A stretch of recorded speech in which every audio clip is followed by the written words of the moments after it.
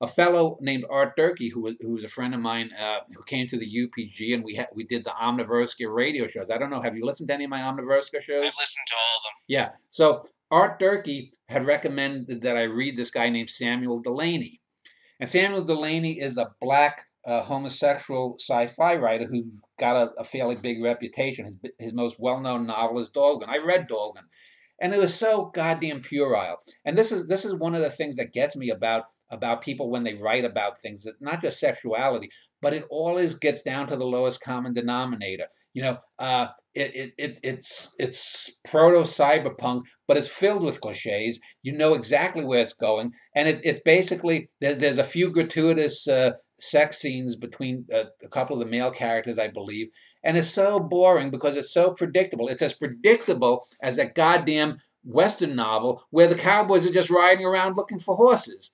And and so, so, if you're going to write about, if, if you're going to hold up, for example, that sexuality, especially in this day and age, is is this is this thing that has been overlooked and it's such an important part. Well, treat it like it.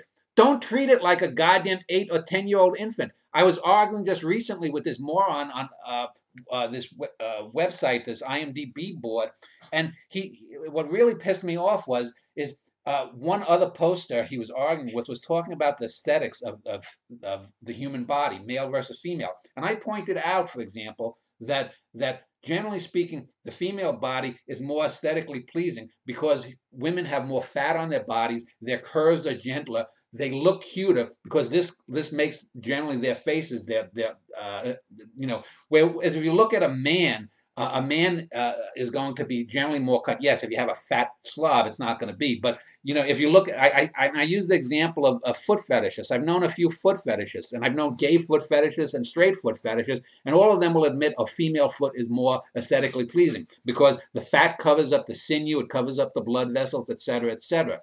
And so the, the, this gay guy who was arguing with this other guy went into this whole thing where he was accusing me of being childishly accusing me of attacking him for being gay. I said, no, you're simply wrong. And it's this this it had nothing it had nothing to do with with his his, his uh, homosexuality, but his puerile sexuality and his inability to distinguish an aesthetic argument from a sexual argument because all he had to do was bring it down to sexuality. And that's what this this Dhalgren novel does.